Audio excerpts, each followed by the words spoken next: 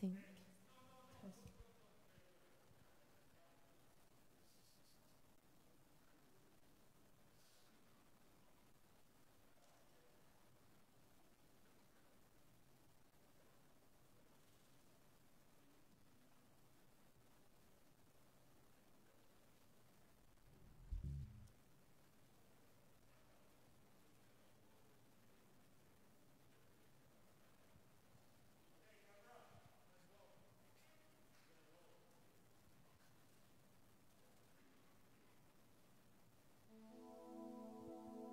All right, good morning, everybody. Good morning to the team here, the crew, the staff, and all those of you who are online. If you are here or online for the first time today, why don't you just say hi and so that the rest who are regulars can welcome you there as well. So, this is good morning. We had a good time of ascent this morning, and right now we are going to go into our worship. Well, are you happy or not this morning? Are you happy? Are you rejoicing? Well, we should be because at least for the Penang people, uh, we have the SCMCO is lifted tomorrow. But more than that, more than that, we should be happy because this month is Christmas season. And we remember, we just not just remember what we proclaim that the King, the Savior, the Messiah has come in the form of a child. And all the hopes and all the dreams of all the world and the prophecies and the promises of God all converge in this one child who will grow up, grow up to be all the good that we are not, and do everything that we cannot in order to save us. Amen. And He, the Savior, Jesus Christ, has come. So let us rejoice this morning in our Savior, our Lord. Amen. Amen.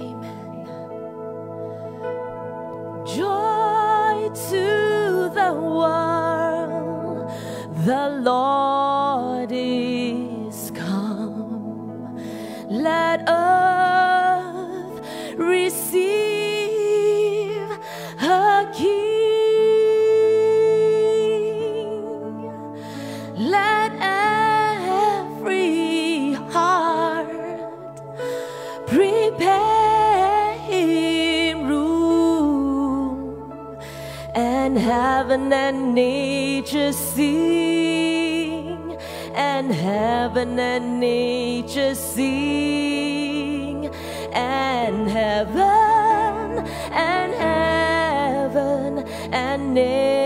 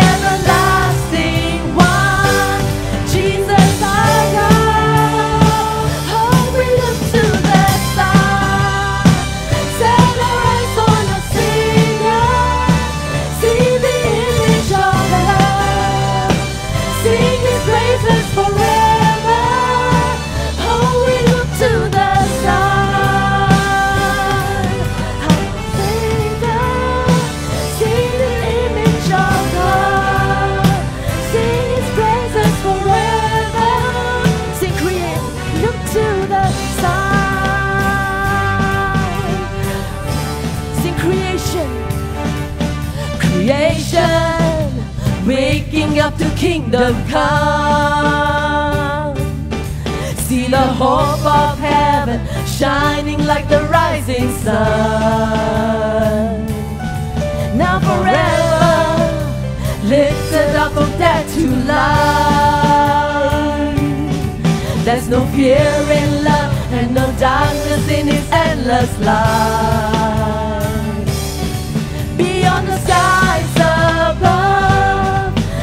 心房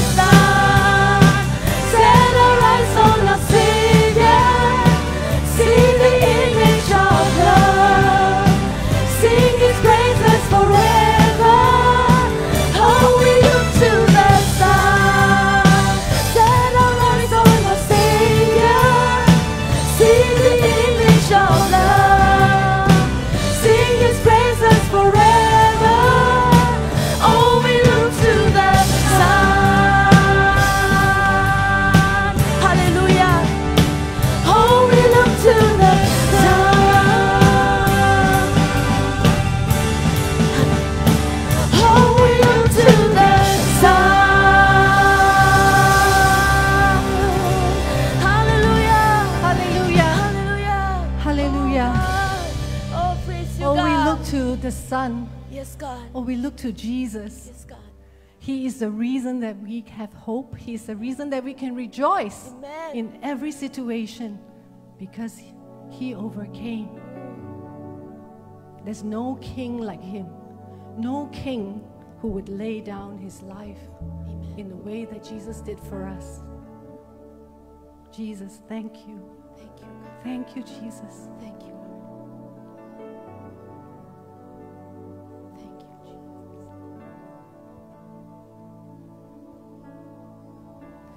King like this, majesty laying in a manger.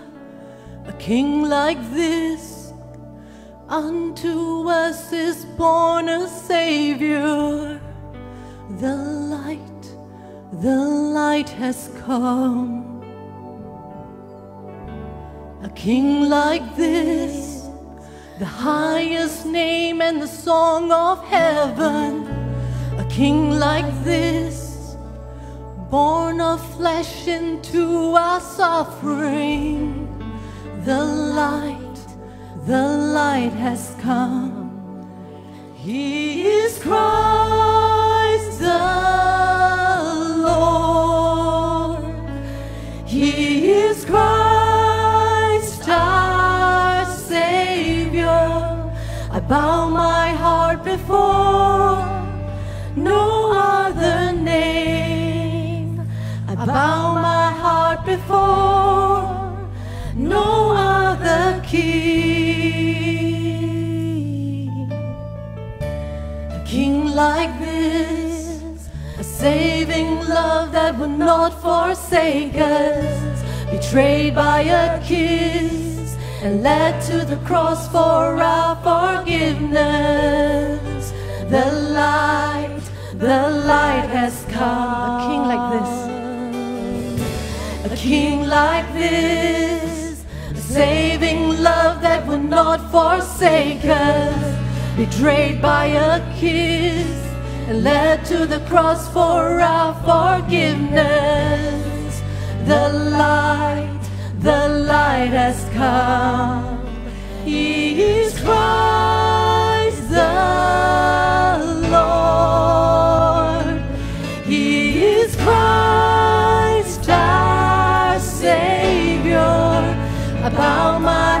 before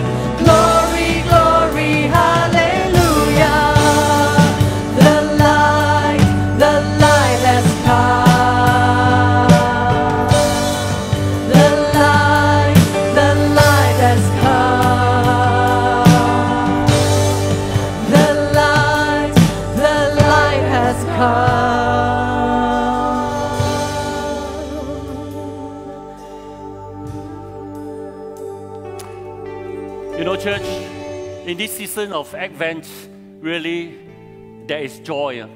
There's joy because it's Christmas, thing is in the air. But what is Christmas without Jesus? Really, what is the joy without knowing the work of Jesus on the cross? And in fact, I must say this that uh, the cross must come. That's ultimate the thing. And even before and after Jesus, there is the cross. And Christmas made it possible for the cross to happen. Because it is on Christmas Day that God sent His Son Jesus and to come down and, and take the sins of man and go to the cross that He may die, that we may be reconciled to the Father. And really, today, this morning, I, I for me to take the communion in a season of Christmas, at a time where we remember the birth of Jesus, is truly meaningful because this is where it all started. Before the cross is about Christmas. Before the cross, it is about Jesus coming on earth as a child savior. And this is where it all started. And we, want to remember this this morning as we partake of the communion. I trust that you have the elements, the bread, the wine with you at home. So get them ready. And I want to read a few verses for um, all of you. It's taken from the Gospel of John, chapter 10. I'm going to read five verses, reading from verses 14 to 18. And these are the very words of Jesus himself. And he said this I am the good shepherd. I know my sheep, and my sheep know me. Just as the Father knows me, and I know the Father. And I lay down my life for the sheep. I have other sheep that are not of this sheep pen. I must bring them also they too will listen to my voice, and there shall be one flock and one shepherd. The reason my Father loves me is that I lay down my life only to take it up again. No one takes it from me, but I lay it down on my own accord. Hear this again. No one takes it from me. The Lord Jesus says, I lay down on my own accord. I have authority to lay down, I have authority to take it up again. This command I received from my Father. Now, these five verses encapsulates the very essence of the very joy of Christmas, the very meaning of Christmas ultimately, because Christmas ends in the cross. And here the Lord Jesus says, I am the good shepherd. I've come, I've laid out my life. Nobody can force it upon me. No one. I lay it down willingly because I obeyed the Father, because of the compassion for all of us, people of the world who are helpless and hopeless without Jesus, without the cross. And here he says again that I come, that I lay down my life, and I'll take it up again. Take it up again so that all of us will have life, life eternal. And, and this is the very essence of the joy of Christmas. It all began at the manger where the child Savior was born. So this morning, as we partake of the elements together, we want to be reminded that the birth of Jesus is not the end itself, it is the beginning and it ends in the cross. And ultimately, with the birth of Jesus, we have the joy because we have life, life abundantly, abundantly, and we are reconciled to the Father. So if you have the elements with you right now, wherever you are at home, you can take out the bread and uh, as well as the cup hold it uh, in your hands and uh, we'll partake of it together. Huh? We are reminded of the words of Jesus again. He says, On the night that he was betrayed, he took bread And after he has broken it and, and given thanks, he says, Take it, this is my body which is broken for you. And likewise, after supper, he took the cup and says, This cup is a new covenant in my blood. Drink it in remembrance of me. Father, we want to thank you again that on Christmas Day is when love came down. That on this day, on that very day, 2,000 years ago, Father, you sent Jesus into the manger, a lowly birth, but with such significance. Because from the lowly birth to become the King of Kings, the Lord of Lords. And Father, thank you for that, for asking that you have direct Jesus to take that journey to the cross. And thank you, Lord, for that obedience. Ultimately, at the cross, at the cross, this is where everything happens. At the cross, we are all reconciled to the Father. And this is your commandment to us that when we take of the bread and drink of the wine, that we will remember your death and be identified with the death of Jesus and the cross. That on the day when, when Jesus was risen, on the day we will be we will rise with Jesus again. That we will have conquered death because Jesus has conquered death on our behalf. Thank you, Lord, for the work of the cross. Thank you, Lord, for all that you have done for us. As in this season of Christmas, we are reminded again that the birth, your birth at the manger, ends in the cross and ends in all glory for you. We partake this together. We thank you, Lord, for that sacrifice, that love. All this in Jesus' name. Amen. Let's take off the bread together.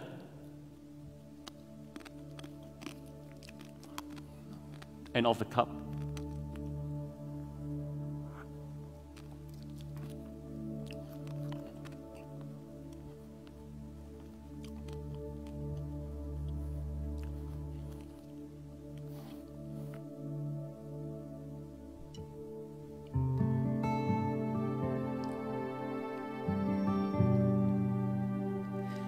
Overwhelmed when I think of what Jesus has done for us, for dying for us, for coming.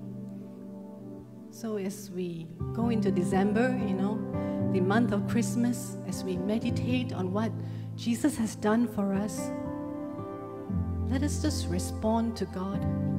Let us draw near to Him. Let us come to Him. Because His love is so great and His love is so precious. You know, in, in Psalms, it, you know, 36, it says, Your love, Lord, reaches to the heavens, your faithfulness to the skies.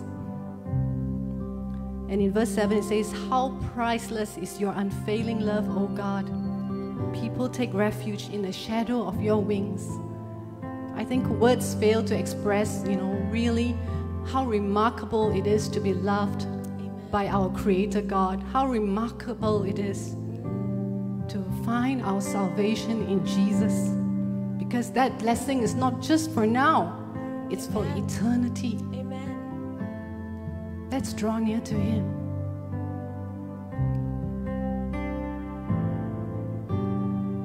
Swept away by the wonder of your love. How one so great, cause love is one so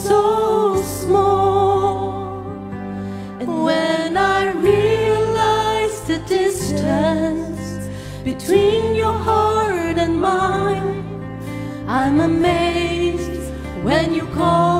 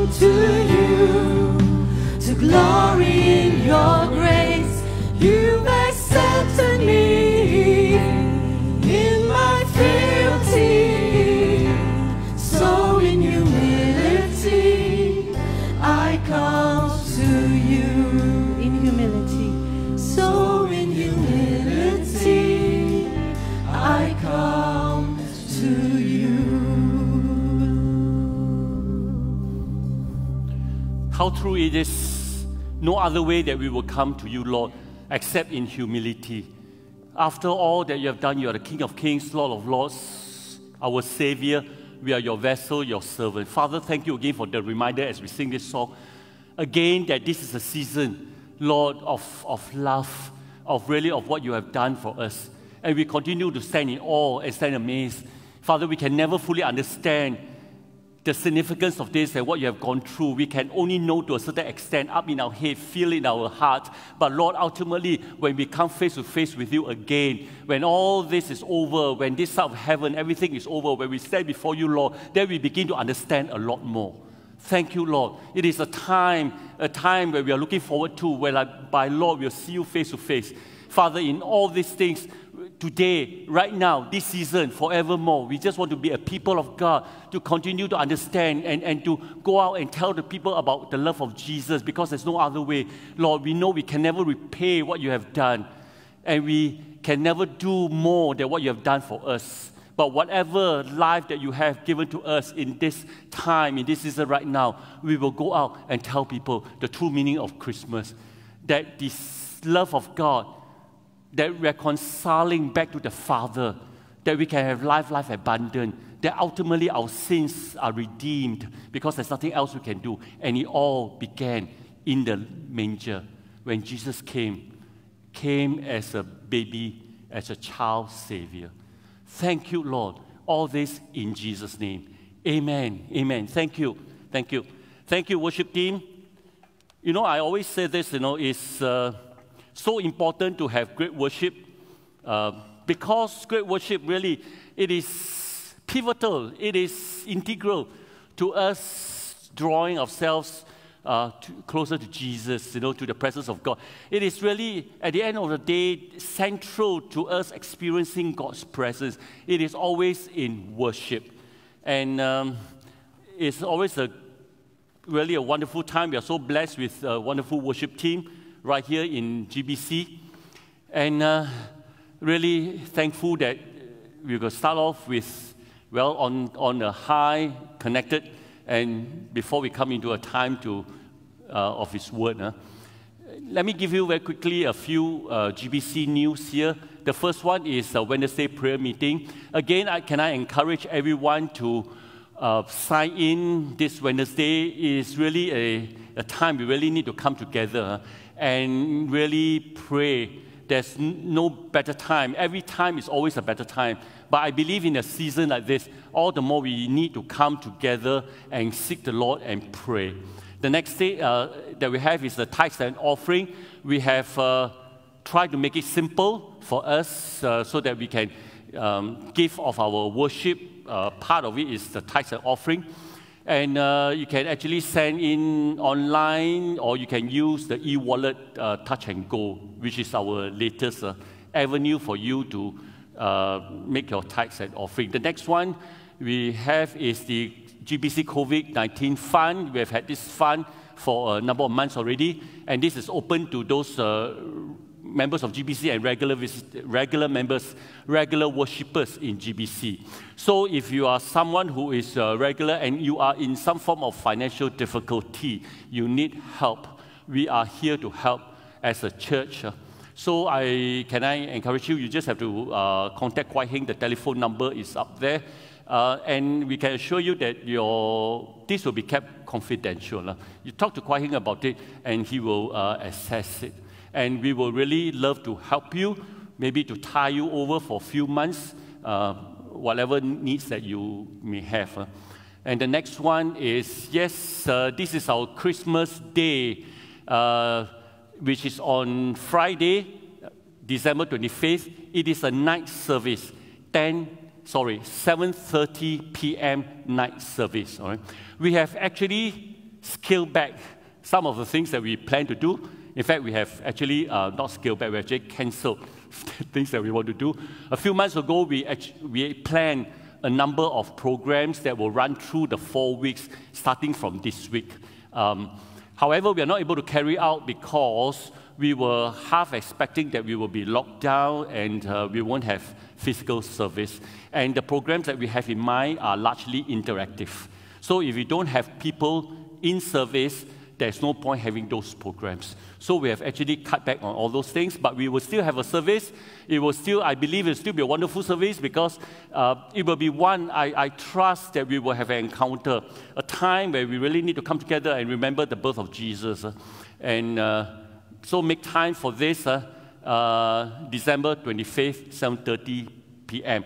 Now, we do not know whether we can have in-person service. Hopefully, we can have uh, in-person. If not, then uh, we will go online, all right? Okay, can I have the next one? The next one is the discipling the city in a new season. This is the inter-church prayer meeting organized by Prayer United Penang together with uh, Penang Ministers Fellowship. And uh, we, we felt that uh, this is a season we need to have one of these, one of these meetings, uh, prayer meetings every month. Uh, churches need to just come together and just pray and seek the Lord. And uh, if you remember, those of you who have signed in last month, we have uh, Pastor Dr. Philip Lin to speak to us. This month, uh, December the 14th, we have Pastor Edmund Chan from Singapore. We are so thankful that these uh, very busy people, they have uh, agreed to make time to really uh, speak to us and what God has been saying to them. It will be interesting, I trust, something that we will learn. And from out of what he shared with us, we will pray, right, with the other uh, believers, body of Christ from other churches in Penang. Okay, uh, that's all I have for this morning's uh, GBC news. And you know, um, I must say that those of us who are present here, we really miss all of you out there uh, viewing online. We really miss you. Uh, we wish everyone could have been here. It's been a wonderful time uh, that we have worshipped, we have worshipped the Lord uh, right here. We do not know uh, what's going to be like next Sunday. We are waiting for further directive uh, from the state government as to whether we can open for physical service. So we will know by end of this week, we'll inform you. If we can't, we will have online. We can. We would love to have you all back here for in-person service. Okay. You know, on a uh, beautiful sunny Sunday morning in uh, late spring in May in 1968 in a church in Germany a Holocaust survivor was asked to give his testimony, to share of his experiences while he, the years he spent in the Nazi concentration camp. Right? So this guy, he came up, he walked up, and uh, his whole expression told the story of a suffering, of his experiences in the camp. In fact, his whole disposition spoke more than his words, tell more story than his words. You know, he, had, uh, he was trembling as he talked. You know, he was so traumatized, and uh, it was written all over his face. The amazing part has been that it has been more than 20 years. This was in 1968 in Germany, and more than 20 years since the war ended. And yet he was still so traumatized, and it could be seen all over his uh, face. And so there he has, he went up there, he spoke uh, for a while. You could sense from his words there was so much uh, anguish and uh, fear. He was even trembling as he recalled the incidences. He had first-hand incidences of his uh, torture, as well as have seen friends and relatives who have actually died uh, under the torture of the Nazis. And uh, so after him, he came down and then the pastor of the church called another person to come up and to share her experiences. This person is, uh, is a woman. Uh, she's a, a, woman and uh, also a Holocaust uh, survivor. And uh, she came up to speak. She was in her mid 70s, broad shoulders. But she contrasted with this man. You know, it's one end of the scale to the other. She was so calm. She had a face that radiated love and peace and joy. She had such a demeanor, she had such a disposition, so angelic in every way. And as she shared and she spoke, there was so much of a confidence, of peace, of joy. Yes, it was uh, painful. She shared of some painful experiences of personal torture, as well as what she saw in the camp of how many of the other Jews were tortured. So it was a painful uh, relating of those events, but yet, yet she was calm, she was peaceful, and uh, the interesting part was that both the man and the woman, both of them had been at the same concentration camp. And both of them went through certain experiences, not exactly the same, but nonetheless, one came out traumatized 20 years later. The other came out with such a peace and love and, and joy of the Lord. There is such a significant difference. Uh, the man had a nerve wracked disposition over him, whereas the woman had this uh, angelic disposition all over her. And this is the difference. And who is this woman? Corrie ten Boom. Corrie ten Boom was born and raised in Amsterdam, Holland. And uh, she came from a family of watchmakers. Uh, Corrie was a passionate believer together with the, the whole family. Uh, they lived a life that was really true to their faith. And she spent a large part, a number of years during the time of the, the Nazis, when, when the German Nazis invaded and conquered the whole of Holland and especially Amsterdam. At the height of the Nazi persecution, she and her family hid Jews in their home. And that was a very dangerous thing to do you know, in that time. So they hid uh, Jews in their homes for a number of years until she was finally caught and found out, and as a result of which she was sent to the concentration camp. The amazing part about this woman was that not only was she bold in the light of the persecution, in the light of standing firm on her faith, believing this is what the Lord has led her to do to hide the Jews. But what was really amazing was that she has such faith in the God that she worships, faith that the Lord will take care of her. Whatever come may, you know, let, let it be, you know, that kind of thing, believing that God will ultimately see to her and watch over her. And whatever God decides, let it be. That is a kind of confidence, that's a kind of faith in the God that she worships. Corrie ten Boom is an ordinary woman used by an extraordinary God. You know, among her famous words, she wrote some of these things, and it's kind of interesting. And she said that never be afraid to trust an unknown future to a known God. And how relevant it is for us today, right here. And I'm sure all of us here would agree that the future is very uncertain. Wherever you are, whoever you are, in any part of the world that you live in, the future is certainly uncertain.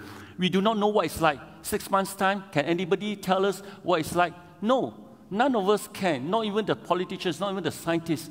They, nobody can tell us what the world will be like six months' time, a year down the line. We do not know. We talk about vaccines, and we do not know how this will pan out as well.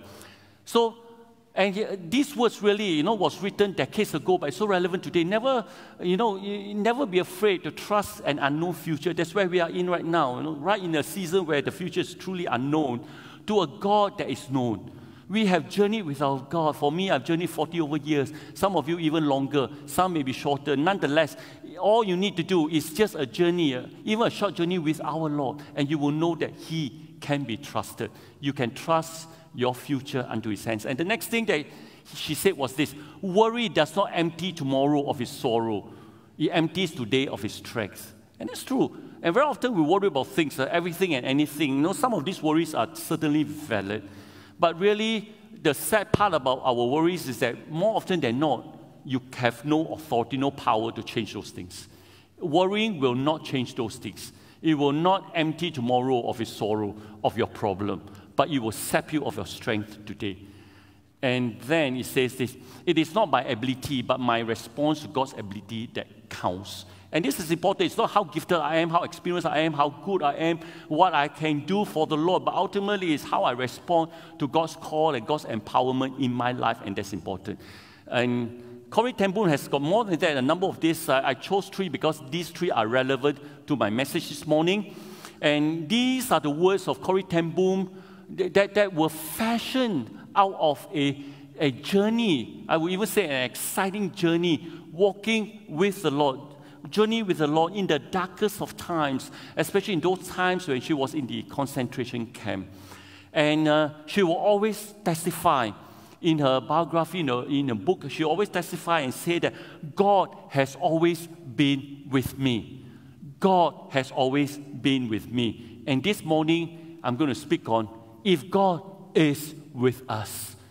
If God is with us. And I'm going to draw uh, from the passage here a few verses that's taken from uh, Judges chapter 6, the story of Gideon. I know many of us are familiar with the story of Gideon. There are a few things that I want to uh, highlight and draw some of these verses. I have it up here on the screen for you. Uh, taking from, uh, reading from verse 12, Judges chapter 6, verse 12. And here it says, When the angel of the Lord appeared to Gideon, he said, The Lord is with you. The Lord is with you mighty warrior. Wow. You know, I tell you this, church, if you hear God saying this to us, the Lord is with you, mighty warrior. That's it. Everything counted. The rest of the things, you don't have to worry. This is really the assurance that beyond all assurance, the mother of all assurance. The Lord is with you, mighty warrior. Pardon me, my Lord, Gideon replied. But if the Lord is with us, uh, this is a valid question. But if the Lord is with us, why has all this happened to us? Where are all his wonders that our ancestors told us about when they said, Did not the Lord bring us out uh, up of Egypt? But now the Lord has abandoned us and given us into the hand of Midian. And then it says, The Lord turned to him and said, Go in the strength you have and save Israel out of Midian's hand. Am I not sending you? Verse 15 Pardon me, my Lord, Gideon replied. But how can I save Israel? My clan is the weakest in Manasseh, and I am the least in my family. The Lord answered, I will be with you, and you will strike down all the Midianites, leaving none alive. Now, that's a very tall order. Uh, strike down all the Midianites, leaving none alive. Gideon replied, If now I have found favor in your eyes, give me a sign that it is really you talking to me. And uh, later on, you, you, have the story of how Gideon uh, put some tests before the Lord to confirm his assignment. Uh. Let me quickly give you a, a, bit of background to these verses before I draw some lessons that we can learn. You know, if you read Judges and from the end of uh, chapter 5, the last uh, few verses, you'll find that chapter 5 ended with this uh, evil person, Sisera, killed. Sisera was a commander of the army of the king of Canaan. And he was an evil commander, oppressive. And when he was killed, and uh, after that, Israel had peace for 40 years. And of course, a period of peace, there was peace and prosperity for 40 years, you know, over the land. And as in the case, it's always the case, whether you read it in the New Testament or even of today, you know, when the land and the people experience tremendous peace and prosperity, what happens? Evil reigns. Somehow idolatry comes in, other things comes in, sin comes in. You know, in the, some of the most prosperous nations of the world are some of the nations where you see the most hideous things, the most uh, debauchery that you see, you know, without naming those nations. And today you're seeing some of the nations of the West. It's amazing when prosperity and peace is upon that nation these things come in. Israel was no different. And don't laugh at Israel because it's happening all over the world and in every nation and even in our time as well. So when there was this peace and, and prosperity, then chapter 6 opens up with this statement where it says that the Israelites did evil in the eyes of the Lord. And for seven years, he gave them into the hands of the Midianites. The Lord gave the Israelites into the hands of the Midianites. Now, the Midianites are powerful people, they are oppressive people, they are desert dwellers, they are, they are pretty primitive, but they are pretty good with camels. They actually are known to ride camels uh, in, into the war, uh, wartime, you know, to fight their enemies. In the way that the Egyptians will ride their horses, they use camels because they are desert dwellers. So they, they will use the camels, they will come, and, and then when they need any supply, anything, they will come, they'll invade from the desert, they'll enter into Israel, they'll invade Israel. And then they will destroy the crops, they will kill the animals, they'll take the spoils of the war, and then they will return home. And then when they need something else, they'll come again. So Israel will never know when the Midianites will come. Suka, suka, you know, they come. And then after that, two, three days, okay, then suddenly they come again. You know, it's very irritating. Not only it was it uh, devastating. Not only was it you will be fearful, but living under such conditions is horrible. You know, you don't know where it comes. You know, it's just like right now uh, we live uh, one, one day we say, oh, one week, oh, green, oh, then suddenly 50 cases come out, oh, lockdown again. And you don't know what's the next week like. And then next week suddenly, oh, every day a week green, and then January lockdown again. You know, uh, but, but this is really nothing. Uh, in a sense, I'm not trivializing the pandemic, but compared to what Israel went through, it was horrible. Every now and then, a few days, I don't know, a few weeks, a uh, few days, the Midianites will come and then they will go after them. It's a horrible time to live in that season. They would, they would just come and the Israelites will have everything destroyed, their crops and all that. The Israelites were so weak, there was nothing they could do. They, they couldn't fight them. You know, these, these guys coming with their camels. And so the Israelites cried to the Lord. They said, Deliver us, Lord you know, all this, we, we really can't take it. Deliver us from the hand of the Midianites. And then, this is the verse, verse 11, the earlier verse, uh, which uh, was not there earlier. And here the, it tells us the angel of the Lord came after Israelites cried out to the Lord and says, The angel of the Lord came and sat down under the oak in Ophrah that belonged to Joash the Abiezrite. Uh, Abiezrite is the father of Gideon, where his son Gideon uh, sorry, Joash is, a, is the name, Abiezrite is the tribe, the clan, rather the clan. Abiezrite is the clan within Manasseh. Right? Joash was part of Abiezrite and is the father of Gideon. It was, and Gideon was threshing wheat in a wine press to keep it from the Midianites. Here it is. You know, that statement uh, that Gideon was threshing wheat uh, in a wine press to keep it from Midianites spoke a lot already. Because you don't thresh wheat in a wine press. Wine press is an enclosed area, and uh, you know it is where you put in the grapes, and the people, the, the normally the ladies that will step, step, step on those wine and uh, crush it and make juice uh, and uh, extra flavor, you know, step, step, step. So they extract that, and that, that, they, that's how they make wine. That's a wine press. But wheat, you don't do that. You thresh wheat in the open. You thresh wheat in the open field and where there is, a, there is wind, there's breeze. Because when you thresh wheat, you are separating the, the, the, the kernel and then the shaft, and then the wind will, will blow and set aside the shaft. So then you have the kernel of the wheat. So that's what you do. You don't go to wine press and do like that. It's, it's a lot harder. And it is believed that he probably did it at night. Why? Because afraid of the Midianites. You do in the open field, the Midianites come, that's the end of your wheat and you got nothing to eat for the next one week or even the next season. So they got to do it quietly in the wine press, and that speaks of the terror of the kind of uh, uh, scenario that they live in. And here we have this. You know, the interesting is from all of Israel, from all the clans of Israel, from all the tribes of Israel, the 12 tribes, from all the mountains and the seas and the valleys of Israel, from everywhere across, the Lord's eye would have searched the entire whole of Israel, and of all person, he chose Gideon. Of all person, he chose Gideon. And really, from every man's viewpoint, Gideon was the wrong choice. And all, how often, when we read the Bible, when you read the beginning, don't read the end uh, or the middle, you find that God seems to choose the wrong people. Uh, Moses was the wrong choice. It seems David was the wrong choice when he was a shepherd boy. And Gideon was a wrong choice. Everybody seems to be a wrong choice. When God doesn't seem to know how to choose people. That's what we all think. Uh, and it appears that Gideon was a wrong choice. Why? Gideon's father was Joash, the Abiezrite, the tribe of Manasseh. And Manasseh was, if you remember, uh, if you know, Manasseh was the first son of Joseph. Joseph had two sons, uh, uh Manasseh and Ephraim. And uh, Manasseh Ephraim was incorporated into uh, one of the 12 tribes. Uh, they were from the two tribes, uh, one of the 12 tribes of Israel after Jacob adopted them. They were not the direct son of Jacob, they were the sons of Joseph. Uh, by grace, Jacob adopted them in into his uh, as uh, one of his uh, own sons.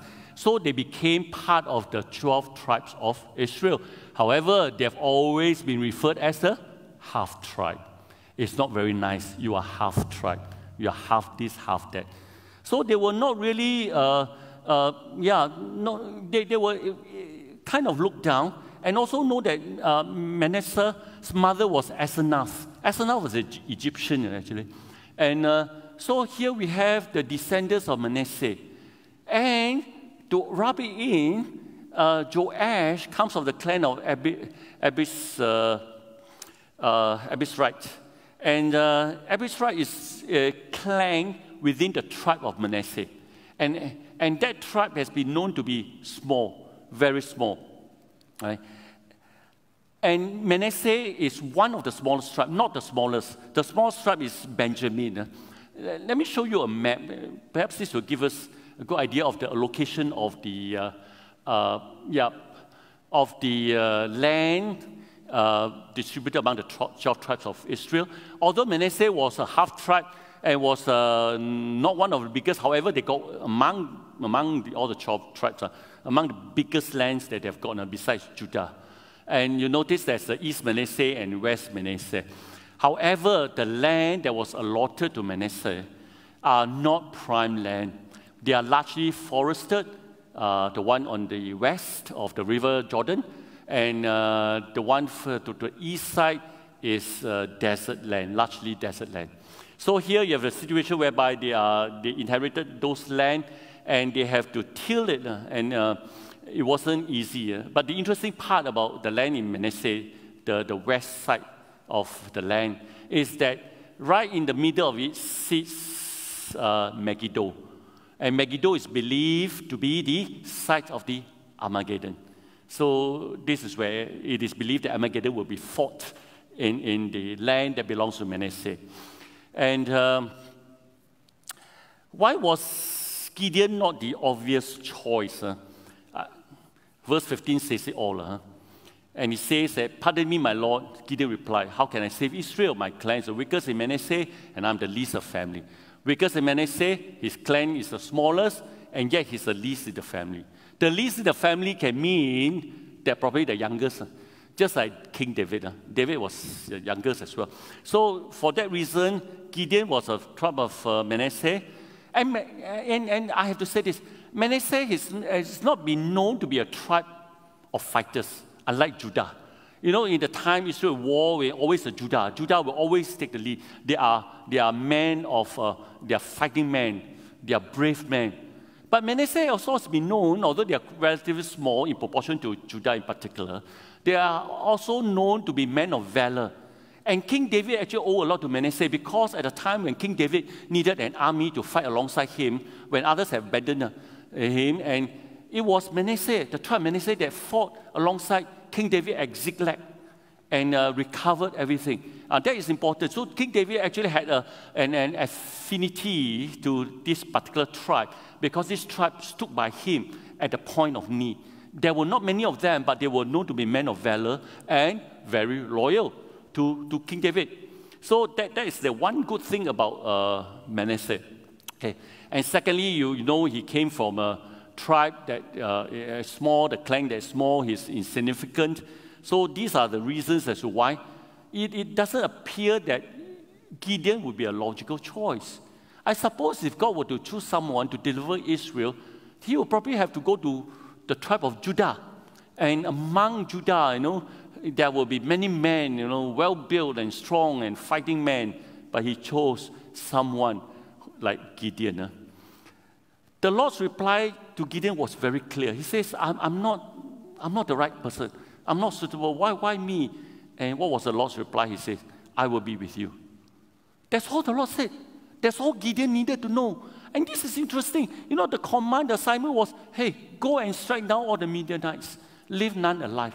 Wow, it's so easy to talk. And then he says, I will be with you. That's all. I will be with you. No strategies, no plans, no further word, nothing else. I will be with you. Go. You know, that's what the Lord says. Of course, when it comes to a lot, it matters a lot. Huh? How often do we think that God makes wrong choices, picks the wrong person for the job, and, and all the Lord need to say is, I am with you. And that's all. And but nonetheless, if you look at scriptures and you look at uh, the Bible, especially to the Old Testament, you will realize that the people that God chooses, certain character traits emerge later part, not immediate. You know, whether it's Moses or David or Gideon, you will notice that certain character traits emerge, becomes clearer, and then you begin to say, "Wow! Now I know why God chose this person." You begin to real, you begin to realize this after a couple of uh, chapters down the road. And uh, you realize this when you read further, you know, in chapter 7 of uh, Judges. Uh. There are many characteristics that God looks for in choosing the right person for his assignment. Uh, I will only highlight three here. Um, and I, I, thought these three are important as I apply later on to, to us, to our lives. The first one is God looks for dead people. Dead people, and obviously I'm not referring to clinically dead. Huh? If you're clinically dead, then the Lord got to revive you before He can use you. But I'm talking about people who, are, who, are, who died to self. People who died to self, and certainly not everyone is considered dead to self. Uh, that God uses. Obviously, God used all of us. Huh? Not all of us are dead to self. We still have some self uh, in us, there's still something in us that surfaces occasionally. That's why God finds it so difficult sometimes to, to do the work, uh, His full work in us. Because we need to be such a yielded vessel, we need to really have, be dead to ourselves, really die to everything else for, for us to be a powerful vessel to be used by God. But I don't believe I've uh, really come across anyone who's really completely dead to self. But it is important. Though we are still work in progress, we are not completely dead to self. However, we must not be full of ourselves. That is the opposite of dead to self. Huh? Dead to self one end, full of ourselves is another. Full of ourselves basically means that we are very self-satisfied in the wrong way. We, are, we, we, we need to be satisfied, right? In the spiritual contentment, we should need to be satisfied in God, but not in the satisfied in yourself completely. Wow, I'm so myself. I'm so happy with myself. Myself is good enough. That's all I need. It's just myself. And it's an exaggerated uh, sense of self worth, and that is the full of ourselves. Huh? So, there are four important character traits here of someone who, uh, who's dead to self. He, he's someone who's also his willingness to submit to authority, to people placed above him, to submit to one another. A main characteristic of someone dead to self is, is the spirit of submission. The second thing is that they consider others better than themselves, That's obvious. The third one is always willing to learn from others.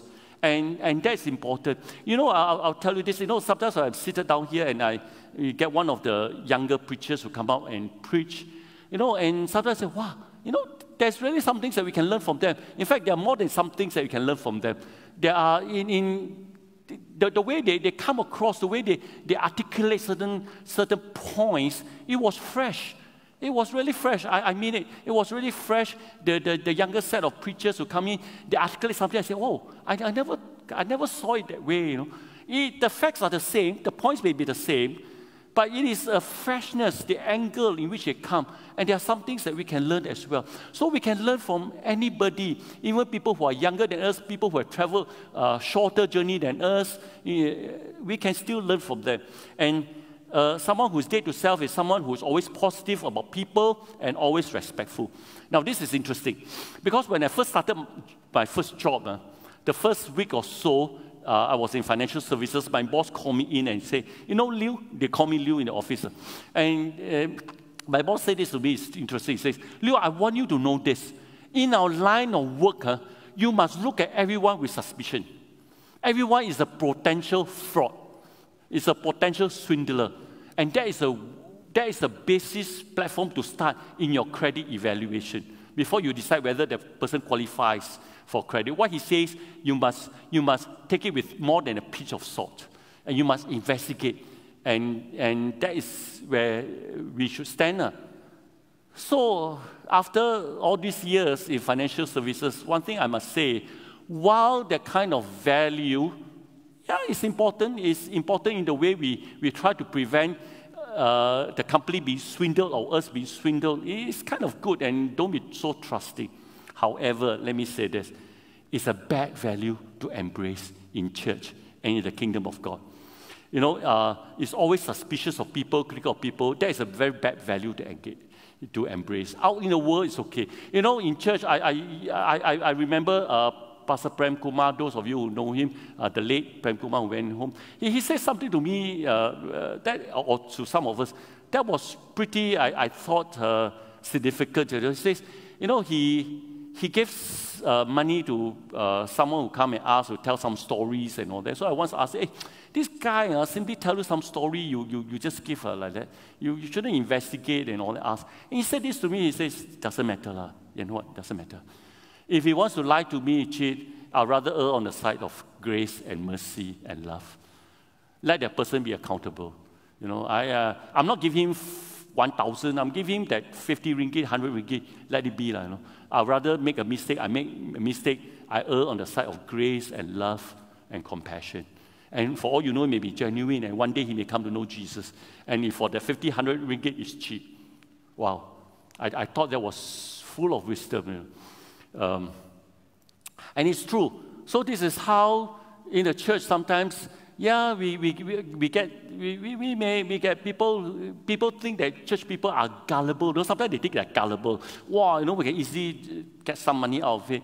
Uh, but I, I, I want to see another way. It's not that we are gullible. It's just that we, we want to err on the side of compassion and love. Uh, of course, we are talking about giving 1,000 away. We want to ask a few more questions, uh, or 5,000. But if you are giving 50 ringgit, 100 ringgit, it's okay to err on the side of compassion. Uh. So, uh, people who, have, who are dying to self, not dead to self, are dying because we are the process of dying to self, is really someone who can love people unconditionally and something we all have to learn. Uh, and people who have an erring desire to, to really uh, see the good of others because they, they are the ones who have really been uh, dying to self, and that's important. The second characteristic is pliable people. Pliable means bendable, flexible. That's called pliable. You know, I used to grow bamboo plants in my home, and uh, you know, bamboo plants are very interesting for all of you, those of you who know bamboo plants. I can leave early in the morning. That was years ago uh, when I was still working. When uh, I'm still working, so I meant when I was in the corporate world. Uh, I'll leave office early in the morning, and I can see my bamboo shoot about two feet high. And then I will go to work, and I'll come back. I normally come back late at night. When I come back at night, it's about seven feet high. In a day, they can grow five feet. Wow, that's amazing, no? Wow, it's kind of interesting. Imagine I was thinking that maybe I should put a camera there and, and, and, and you know, uh, videotape it. And that's what they do. They grow very fast. In that 12 hours, they can grow five feet.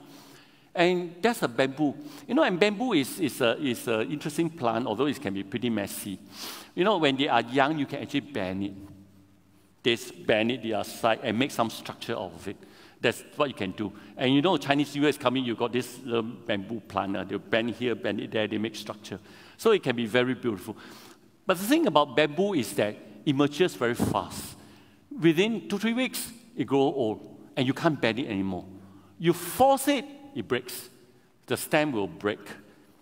So the thing is, are we like that? You know, the bamboo plant reminds me of us and all of us. You know, uh, as we get older, sometimes we find harder to change. It's our paradigm, our worldview. 20, 30 years I've been doing like that. church will always do like that. You know, that's why in the in when you do recruitment, uh, Johnny, uh, do recruitment, you don't you don't want to hire a 50 year old and a 55, 60. Although him, I may tell you, I got 40 years of experience, but I'm already set in my ways. I come in, I set my ways. I'd rather take in a 25, 30 year old, I can mold the person. That's what we all do. Huh? So we, we are, as we go older, we, we find that we are so fixed in our ways and whatever that we do. You know, uh, there was a time uh, years ago, I find very hard uh, to attend a church service where it's all dark. I, I find very hard, not used to it, uh, you know, all dark, but now I'm kind of used to it, you know. For those of you at home, you may not realize it's actually all dark. and the people enjoying it, we are enjoying it. And it's, I was telling myself, it's so difficult to preach into darkness, you know. I can't, I can barely see your faces, especially when the lights are on me. Uh, I can barely see your faces, so I need to use a tablet because it's light, otherwise I can't see. And so, and I, I, years ago, I find it very hard to take in loud music, but now I'm okay. Whether it's loud music, soft music, whether it's uh, fast music, slow music, songs, whether it's completely bright, completely dark, I'm fine. I'm already learning to adapt. So, you know, there was a time at the start of the MCO and uh, towards the middle in May, June, where we had to come and do recording. I, I struggled to speak into a camera. Uh, there was nobody was in the room in level five. But now I'm used to it. I can speak into an empty room. Uh, people may think I'm crazy if I can speak in an empty room, but I know that you're watching live stream, so at least uh, trying to use my sanctified creative imagination that all of you are looking at me, which I hope you are. Uh. Okay. Anyway, so uh, and but you see, the thing about us is this: we have Jesus in us, we have the Holy Spirit in us. We should be able to regenerate new shoots. We should never say, "I'm like that, really. I cannot change." Uh. You cannot change me. You can't say that because the Holy Spirit should be able to change us. Because the Holy Spirit in us will regenerate new shoots out from us so we become bendable, flexible. I'm not saying flexible in terms of compromising. Uh, don't get me wrong. Uh, the message is the same. The holiness is the same. The purity is the same. The Bible is the same. The Word of God is the same. I'm talking about flexibility in the way we do things. The method changes the message is the same. Right? So we should be able to be flexible in a different season. I'll talk about it more later on as I conclude why this is so important. To, to do different things in a different season. Uh, what we do today, right now, it's not something you can do in the 1980s or 1980s, you can't do it now. Or for that matter, even now with the lockdown, you can't do what we used to do one year ago. So things change. Huh?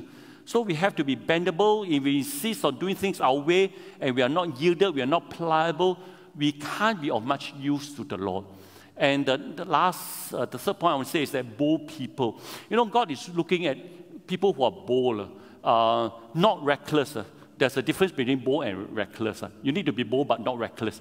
You need to be measured. You need to know it's of God. You, you, you need to be uh, firm. You need to know what you're doing, uh, not just simply going around doing things that are on your own, uh, on your own understanding. You have to be bold people, bold in the Lord. Let, us be important and qualify this bold in the Lord.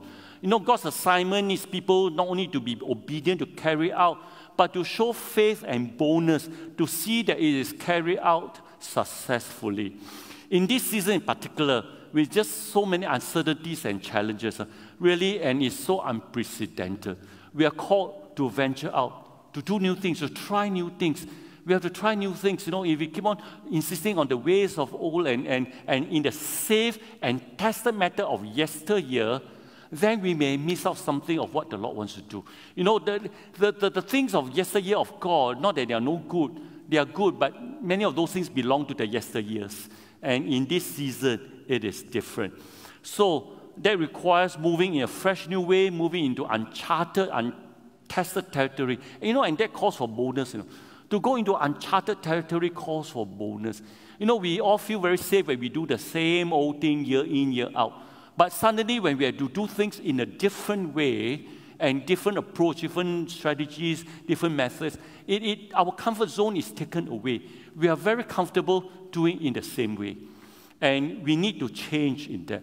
Right? Like Corrie ten Boom, he carried out God's assignment without fear and even while he was in the Nazi concentration camp. And all that God did in Gideon's case was just to tell him, Mighty warrior, I am with you. Hey, that's all. That's all he needs. No need of any other thing, just need. And he heard it right, he was correct, so he, he went on. And, and the assignment is that he is to kill all the Midianites, leave none alive. It's a tall order no, to strike the Midianites. As I said, they are on their camels, they are wild people, they are aggressive people, oppressors, to kill all of them. And all you need to hear is God is with me. To kill with what? That was my next question. Know. What would he kill with and with who? But that was all that Gideon needed to know. And so, after looking at all this, what can we learn actually to draw from uh, what we have just read on Gideon? There are a few things I'll draw up as I, I want to just uh, draw in together and say, how would it apply to our this season? And right now, especially, we are in the first week of December into the season of Christmas. You know, the one thing that we need to know is that God uses tough times to get our attention. You know, it is said that pain, suffering, and tough times are God's megaphone to a deaf world. Not only to the church, but also to the world at large. You know, I like what C.S. Lewis said.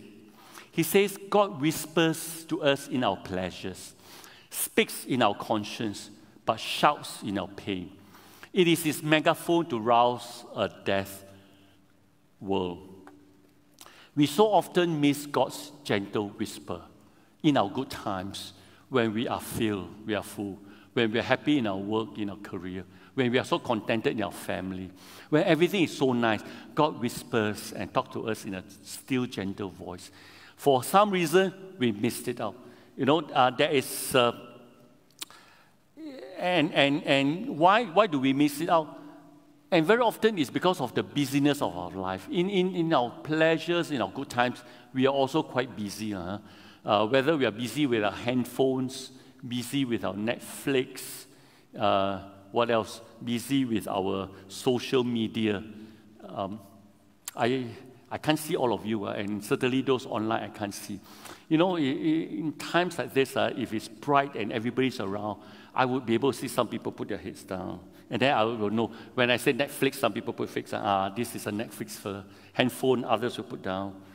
So you, you can get a gauge of the congregation. Uh, what are the sins? These are the, these are the things that really draw us away from, from God. Huh? You know, just as God used the Midianites to wake up Israel, God used the Midianites to wake up Israel, to wake up his people. Is God now using the COVID 19 pandemic to wake up his church and to wake up the world? Is it God's megaphone now to the church? Hey, you know, to a church that's been deaf, to a church that has been busy with many things and uh, doing our own things and all that. This is something we really have to uh, consider, huh? look at. There's an interesting detail in Gideon's story that struck me. I'm not sure how much it has really, uh, you have actually picked this up. You know, the Lord said this. He says, for seven years, the Bible tells us this, for seven years, He gave them into the hands of the Midianites.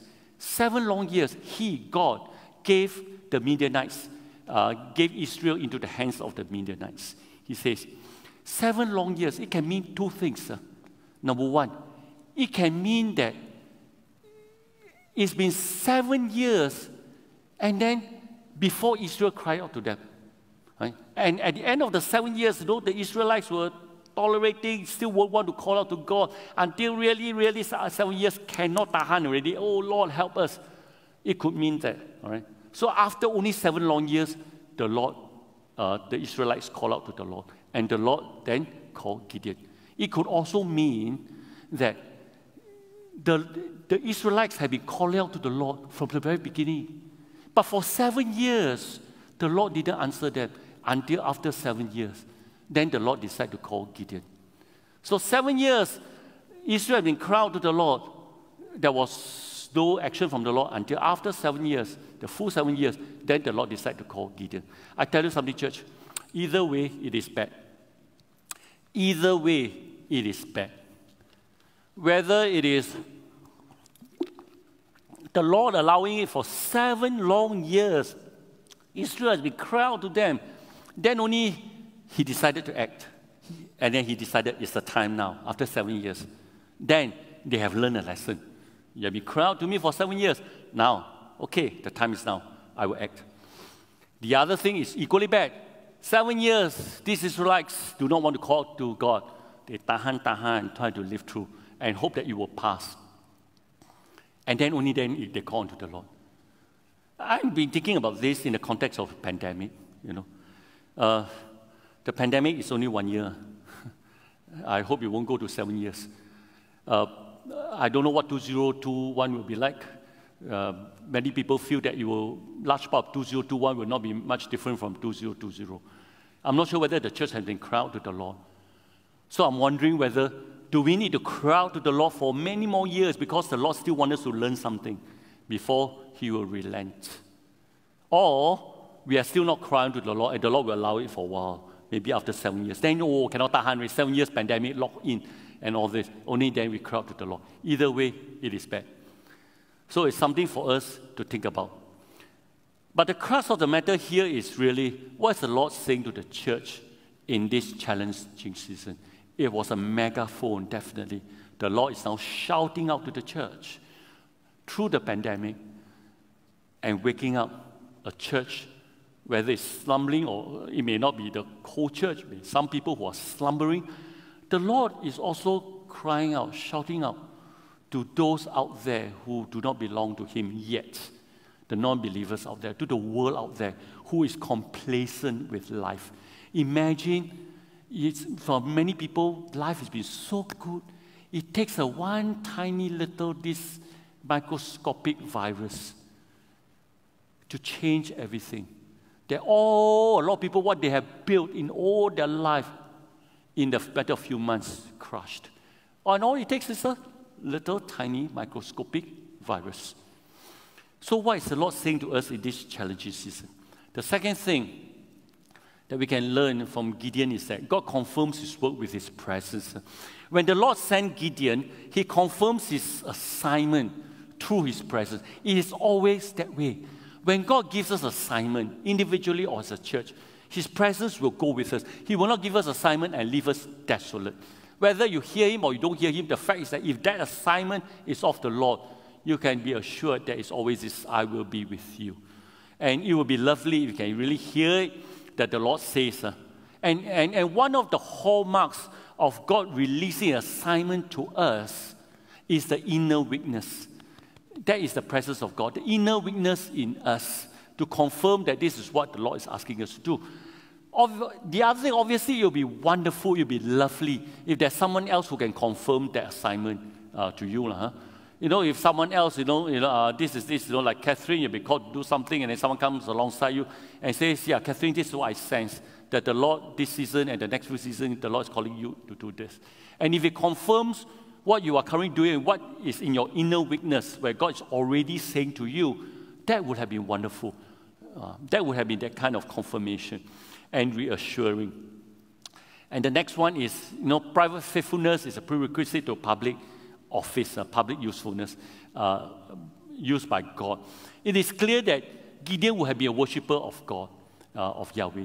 But this is interesting because his father is, uh, is, has worships Baal, so it's uh, idolatrous. But can you imagine the whole family and the community are idolatrous, worshiping Baal? You read further on uh, in, in later part, chapter 6, chapter 7. And, and yet, he is not. And then his first assignment was what? To tear down the family altar. Wow. This is serious, man. For a child like that, and uh, uh I don't know whether he could be younger, he could go and go and tear down the, the altar of Baal. And that is serious. And he did that, and he almost got himself killed because the community came after him. But amazingly, Joash, the father, came to his defense. And this, is, this has to be God. This has be God. That's why God says, I am with you. No? People will not touch you, not be able to touch you.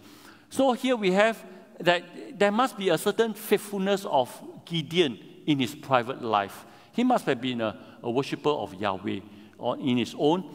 And that's where God of all whole of Israel, through the mountains and the valleys and the plains and all the clans and all the tribes, he saw Gideon he must have seen the private life of Gideon, the private faithfulness of Gideon that qualifies him for the public assignment, the office. And, and that is important. So our life, inner life must be right before God we can, before we can undertake any assignment. Fine, and the next one is impact is determined by God's empowerment and not ours. Clearly, the impact is totally dependent on God empowering in our assignments, and even if we operate in our natural gifts, it's our natural, you know. Some people are born to sing, some people are born to talk, some people are born to just work, you know, roll their sleeves. It is a gift. It's, it's still of God, you know, and all that. Ultimately, but your gift will make great impact only and when it is God's empowerment. And you, you don't just operate out your own, out of your own ability. Yes, you can go a certain level. Uh, you can go a certain level, but beyond which you, you, you, you can't. I, I believe I may have shared this uh, account with you. Something just came to mind uh, very briefly. We won't talk too much about it. You know, it's uh, um, many years ago. I've uh, when we have this South, uh, what they call uh, South congregation, and we will preach our message in in Central, which is in number 14, and then one or two weeks later we'll take it to South to preach same message, and uh, that was I, I preach in Central today. It's a message of the Holy Spirit, which I preach so many times. I preach it so many times already, you know, here in teaching, in, in, in uh, prayer meetings, all that. I spoke about it so many times. And then when I was supposed to do in, in South, you know, uh, at that time, I was overconfident. I was, I was, that was about 20 years ago, in the 90s. I was overconfident. And I, the night before, I didn't prepare. I, I didn't look through. It was already prepared. Uh, I didn't look through. Next morning, I go in like the kind of big time speaker. I went there. I tell you, my message was completely flat. The people were so confused. I could look at them. They, were, they, don't, they didn't know what I was talking about. I also didn't know what I was talking about. I remember Jenny was a worship leader at that time. And I cut halfway. I said, Jenny, uh, can you take over worship? I went down. And you know, after the service, Soon Hock, Pastor Soon Hock pulled me out. He says, Yan what? You're going to learn from this. You're going to learn from this. Wow. That was a rebuke, a very strong rebuke. And that was wonderful. I learned my lesson. Anyway, he didn't have to rebuke me. I learned my lesson that I can never take it for granted. I need to prepare. I need the Holy Spirit's guidance. Even I may have preached 50 times, whatever number of times, doesn't matter. I still need to prepare. I still need to pray. I still need to be right before the Lord. So now, every Saturday night, I will spend a few hours spending that time.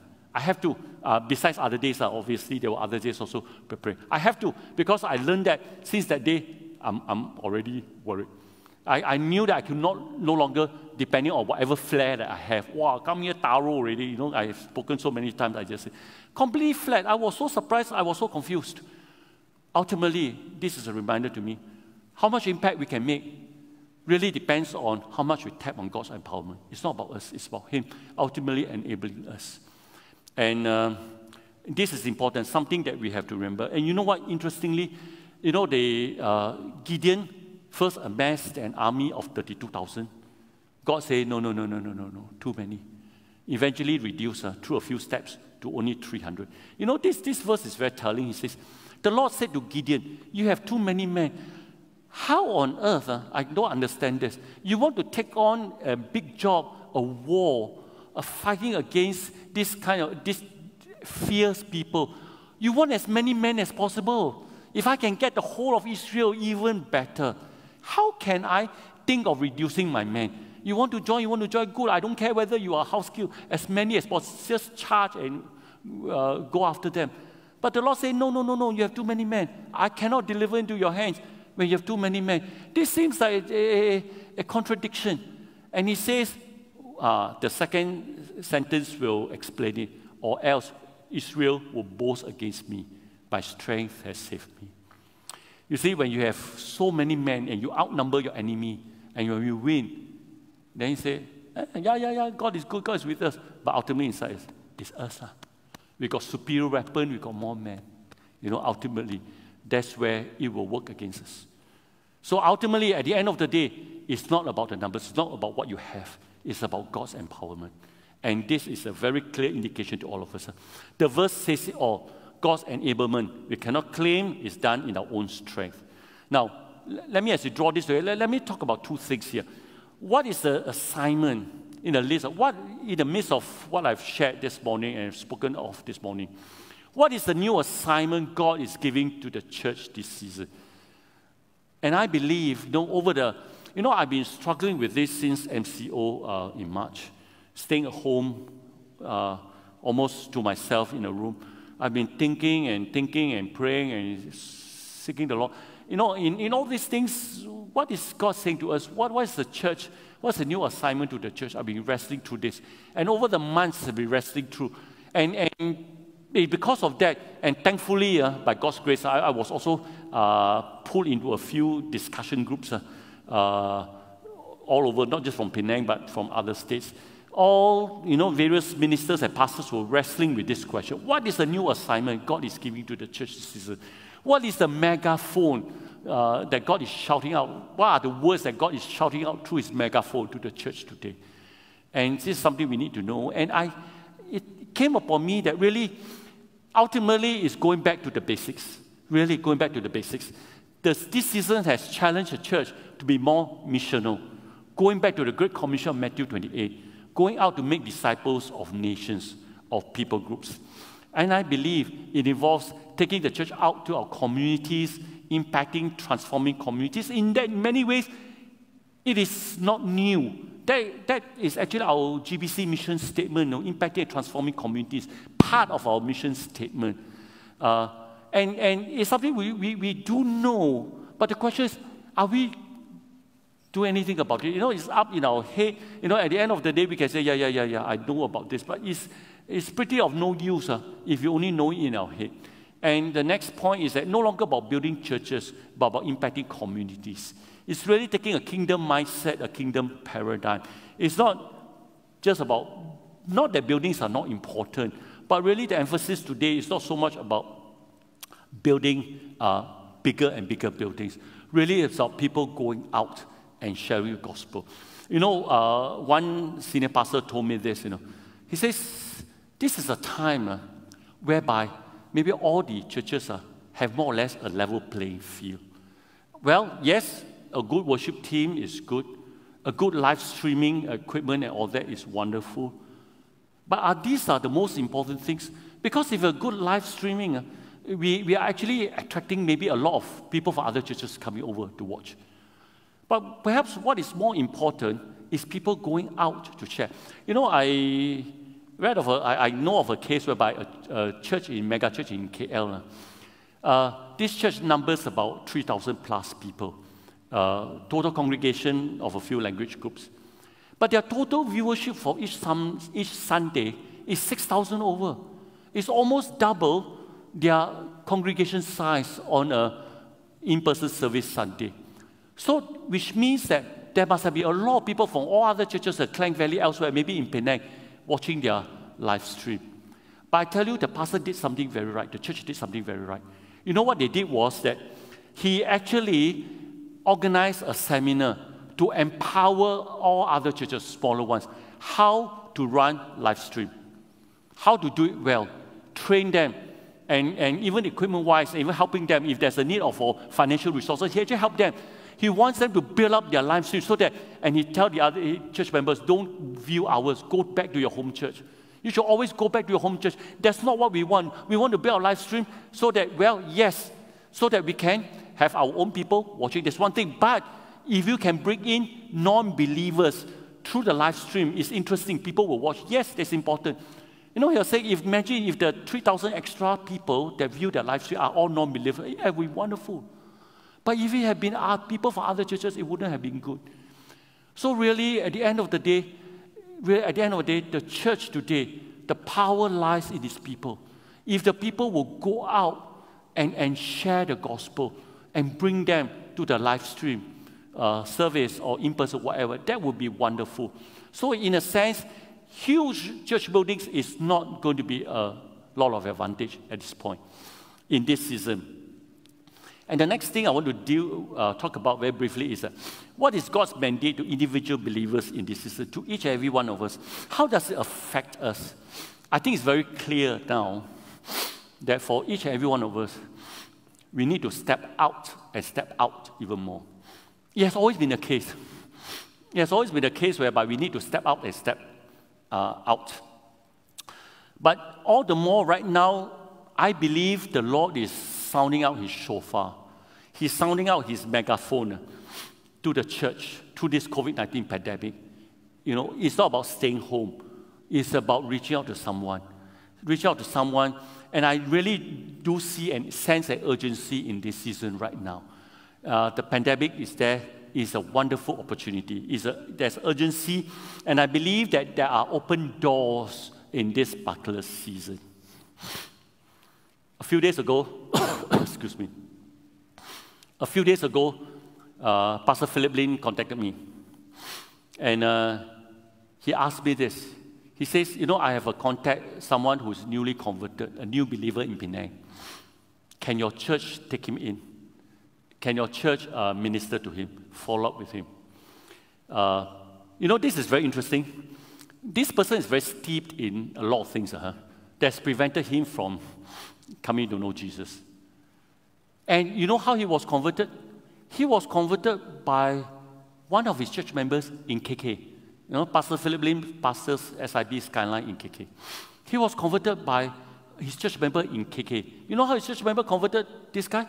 His church member is a supplier of a home product. And this person is his customer. And it was just over the phone. He booked something, I think it was through internet. He sent it over from KK to his place. And then over the phone spoke to him as a follow-up customer service uh, about the product and shared the gospel. And then after a few calls, all that, led him to Christ over the phone. And we, we contacted him actually, and this guy is very committed. He really gave his life to Jesus. It's amazing. Can you imagine someone from KK could bring Jesus to someone in Penang? And what about us here in Penang? And I'll tell you this this is not the first time. Over the last couple of years, at least there are three cases I remember. Pastor Philip Lin in his church called me up. And he have KK, last two years, could convert three people in Penang. Hey, what about us here? You know, I'm not trying to be judgmental or what, but we have to ask ourselves, the last three years, how many have you converted? Three. We are right here in Penang, but KK could do that right here. It's really amazing. It's long distance It's by phone. You know, I, I've been to, you know, he's, one of the things about his church is that the people are very missional. Missional means that every one of them sees themselves as missionaries in their workplace, wherever they are, in their family, in their workplace, wherever they are. They see themselves as a bearer of God's word, as a missionary, that he will bring the gospel to the people. A few years ago, I was in his church, and I saw a group of them, they were all chatting, and then I found they were all bankers. And they were all new believers. So I asked, I said, hey, how come all these bankers in your place are new believers? Oh, he said, because one of their member was a bank manager in KK. So he shared the gospel with his people, his staff, and with uh, his fellow colleagues from bankers from other banks. And all of them gave their life to Jesus. They all came to his church. It, it seems so simple, but at least he made the effort. This guy made the effort, and there were fruits because God was with him. And God is with him. And that is important. So there is this, this whole new thing, you know, that they see themselves as a, a missionary in their workplace. And I, I, I believe God's megaphone shouting to us right now, those of you out there in the marketplace, I want to say to you, you are a missionary where God has placed you. Even when you are retired, even when you are retired, you are still a missionary with your social circle of friends out there, you know. And this is very important. As individuals, we've got to see ourselves in this way. In our context, you know, among our family members, that's our best contact. Among our, whether it's yam cha, kaki. Hey, by the way, if you want to yam cha, try to yam cha more with the non-believers. Uh. Don't just keep to your clique of nothing wrong to build relationship among church members. But it'd be wonderful if you yam, yam cha with the non-believers. Yum cha with your ex colleagues, if you're retired, yum cha with ex classmates, yum cha with them. And if you go there, you play golf. I, I know Pastor SK plays golf and he will share the gospel. He has made inroads into some people's life. When you play tennis, when you play this, whatever, you are a missionary in your circle of friends. If you go to your favorite char kway teow store or Hokkien Mee store, try to go there, build relationship, talk something. This is what we are called to do right now in this season. In this pandemic, God is blasting out this message to the church right now. You know, I sense the urgency. We can no longer procrastinate on this assignment that God is giving us. In many ways, it is not a new assignment. You know, the Great Commission of Matthew 28 has been there. It's been there since the Bible was written. It's been there. And some of us take it seriously, some do not. Perhaps this is a season God is giving us a wake up call, really through his megaphone to tell us. Just imagine we have 700 plus across four congregations in GBC. If everyone sees ourselves as missionaries out there in the marketplace, wow! I'll tell you, Penang has got seven missionaries from GBC out there. If we work with other churches all over, wow, we got thousands of missionaries out there in the marketplace. Hey, you know, you don't have to speak to a big crowd like Billy Graham. You only need to convert one, talk to one at a time, one life at a time, just one life. That's what you need to do. As a body of Christ, we need to come together. And you know, if Gideon only needs 300 men to defeat the Midianites, we have 700 plus in GBC. As I will bring this to close, can I have the worship team here? You know, Israel cried to the Lord for deliverer in their season of need. And the Lord sent Gideon. Today, in our city, in our country, and in the world, there's a crying out for help. There's a crying out for answers for redemption in this pandemic season. Who is the Lord going to send? He's going to send you and me. He's going to you and me. He's going to send the church. Today, God is calling out his Gideons, and all of us are Gideons at God's disposal. This is the first Sunday of December, and the Christmas season is upon us. You know, what is Christmas if it's not about Jesus?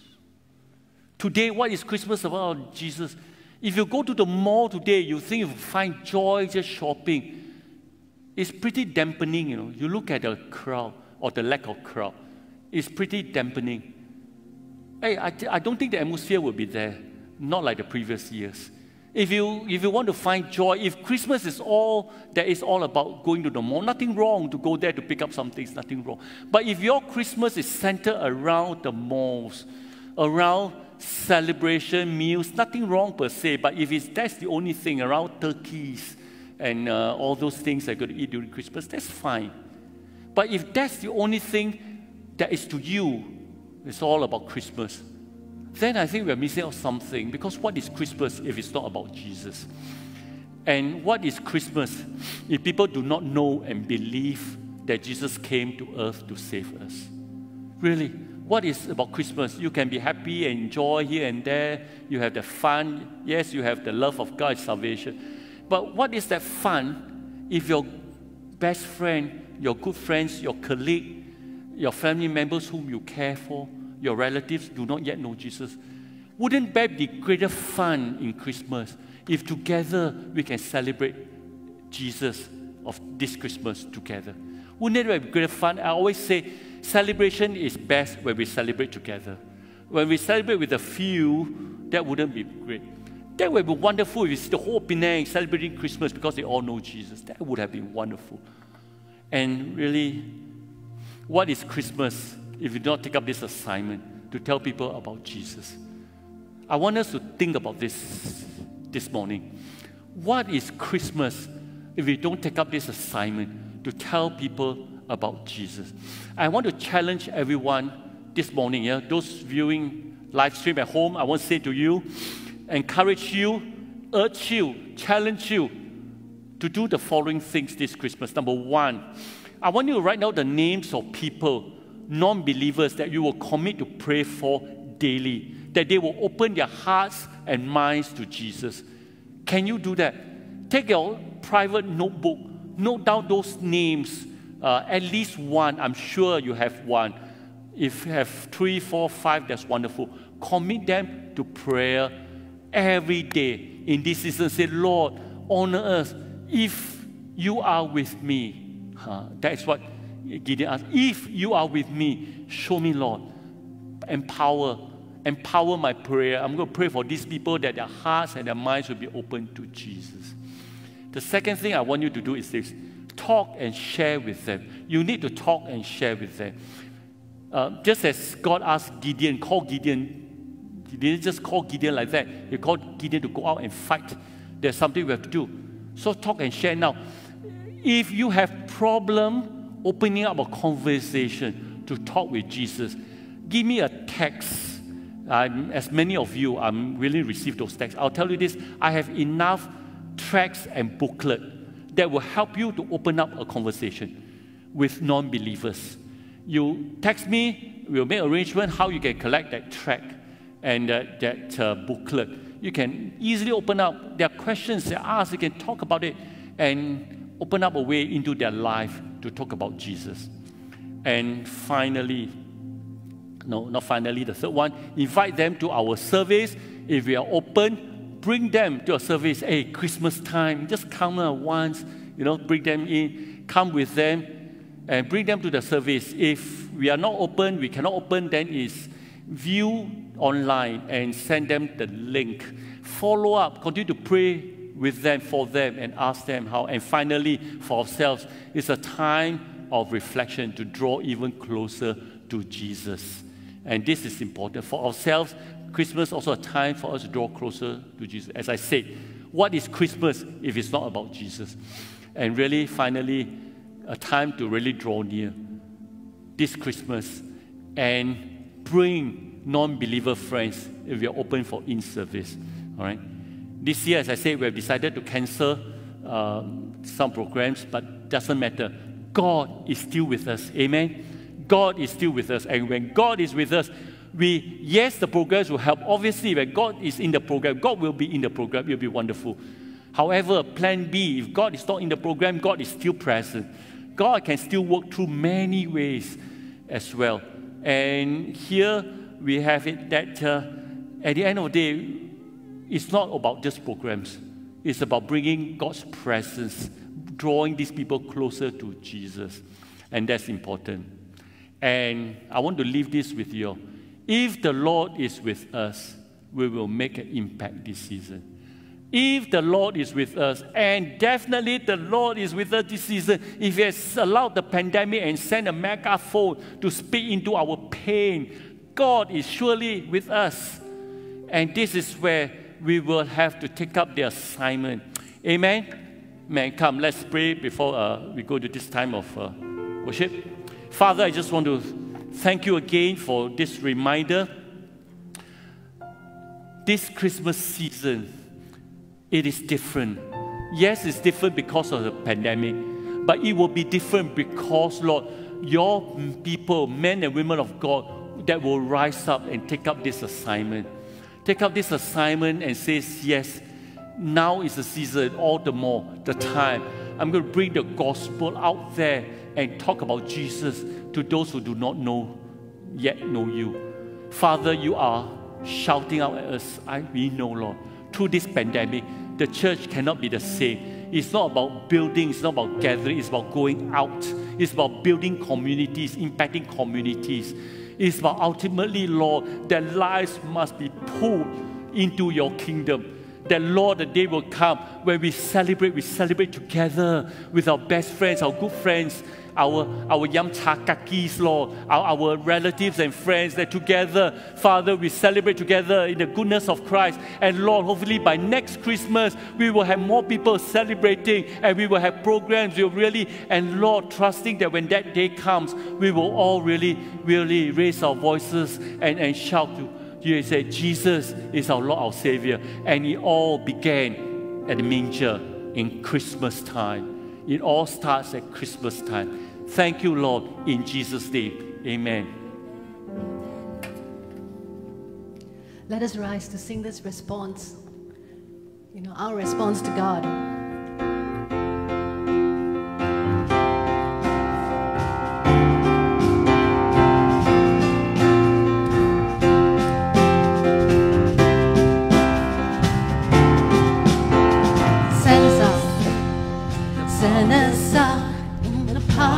Spirit to shine your light in the way we live. Send us out in the power of your spirit as we receive, may we freely give. Send us out,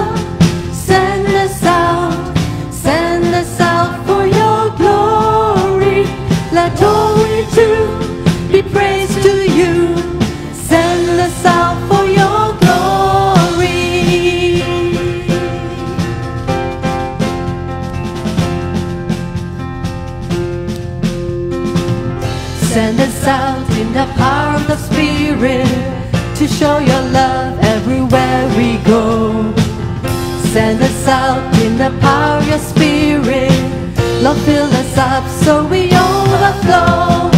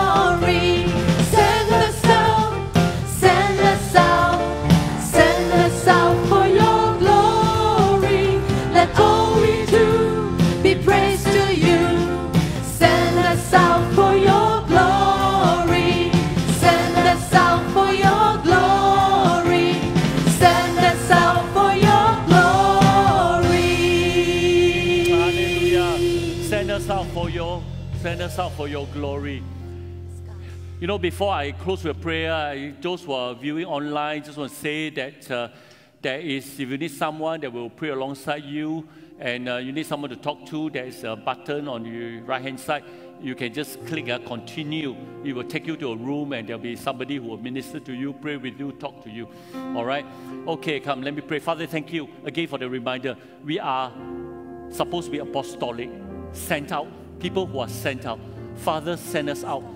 We are not to stay where we are and not to stay in the church. We are supposed to go out. Father, you disperse us. In the early church, you have dispersed them through persecution. They were dispersed, Lord, from Jerusalem to Judea to Samaria to other parts of the world. They were all dispersed that the gospel may spread. Likewise, Father, in this pandemic, you are dispersing the church, a sense from, from a central meeting point. You're dispersing us into our marketplace. And I want to pray, Lord, that there's such a stirring in the heart of every member. Lord, that they are all, we are all called people, missionaries, where you have places. We are all sent out people. We are all apostolic essentially, Lord, we are all missionaries. Father, help us realize that. Thank you, Lord. I just want to pray that let it come, Lord. The empowerment, we're going to tap on you. Will be our words will be clothed with humility, with power, with authority. When we share Jesus, people will catch it. It will resonate in their heart, in their spirit, Lord, and many will give their life to Jesus. Lord, you are more than able, not us, but you. You are able. You empower us. Thank you, Lord. All this in Jesus' name. And thank you, everyone, those of you viewing online uh, via our, our live stream. We want to just welcome you and thank you, not welcome, thank you actually for, for uh, joining us. And goodbye until next week. Bye bye.